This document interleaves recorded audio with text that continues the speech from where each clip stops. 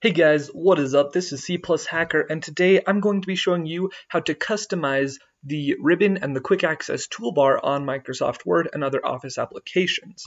So basically, if you want to switch around certain tabs where they're at, uh, what shows up under those tabs, I'm going to show you how to do that today. Let's get into it. First off, you're going to go to File, Options, and click Customize Ribbon. The faster way to get here, though, is to just right click on anything in the ribbon and click customize the ribbon. So as you can see there are lots of different tabs here. Um, if you want to show or hide a tab then you just click on this checkbox to do so. If you want to move a tab around, say I want to switch Grammarly with dictation, well then I would just click and drag it and you know, move it down here.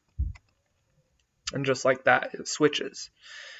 Now, if you want to customize the quick access toolbar, you can also do that in options. This allows you to add different buttons up here. So say you want to add the autosave feature. You just click add and now it's there. Now if you want you can just click on this little arrow and it will show you uh, different options that you can put up here. So it's pretty nifty.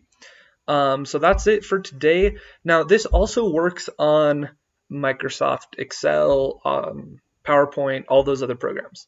So I hope you guys enjoyed this video. If you did, give it a thumbs up, share, and subscribe. And until next time, peace.